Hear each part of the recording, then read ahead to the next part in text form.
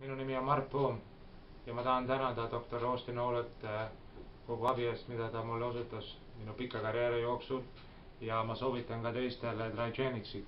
see on üks parimaid äh, ravimeetodeid, mida mina omal ajal sain.